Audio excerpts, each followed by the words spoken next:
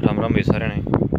और देखो, बड़ा अच्छा लग रहा है मुझे ये बात कहते हुए, सुनते हुए कि पूरा भारत जो है दोबारा से एक हो चुका है। किस बात पर एक हो चुका है? और आप लोग भी सहमत हो इस बात से कि किस बात पे वो एक हो चुका है। वो एक इस बात पे हो चुका है कि सब बात कर रहे हैं कि देखी जाओगी। क्या देखी जाओगी? कोरोना के मामले बढ़ रहे हैं भाई, देखी जाओगी। न्यू आंड आएँगे मार्केट में न्यू जावाएँगे हैं? रिश्तेदारी में न्यू आंड आएँगे बाहर न्यू घूमे हैं लोग। तो पब्लिक प्लेस पे ना जाओ, कम से कम भीड़ में जाओ, जो बहुत ज़्यादा ज़रूरी हो तो जाना चाहिए। और इसी वजह से जो है कोरोना के मामले बढ़ते जा रहे हैं। तो सजग रहो, ठीक है, देखी जाओगी भाई, किसी ने मेरा किसका क्यों होना है? लेकिन एहतियात जो है बरतनी ज़रूरी है। सिर्फ़ इस देखी जाओ का चक्कर में, स्टेटस का चक्कर में, देखी जाओ के चक्कर में। आज इसार इसार की बात करा तो एक छोटा सा छोटी ही डिस्ट्रिक्ट है हरियाणा की, उसमें छियानवे नए मामले आ गए हैं, तीन सौ अठहत्तर एक्टिव केस हो गए हैं।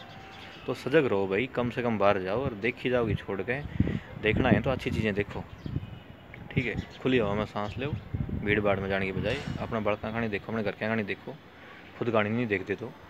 ठीक है, अच्छी बात है, फ़ोन पर स्टेटस डालो, देखी जाओगी। बड़ी अच्छी बात है भाई, भगवान विश्वास रखो। लेकिन बात यह है, सजग भी रहो और एहतियात भी बरतते रहो। सफ़ाई रखनी है अपन, अपने हाथ से धोने हैं अपन, टाइम पर नहाना ही अपन, कपड़े साफ़ रखने हैं, है? ये चीज़ करना है, घर में सफ़ाई रखनी है। तो बुरी चीज़ नहीं है, अच्छी चीज़ है।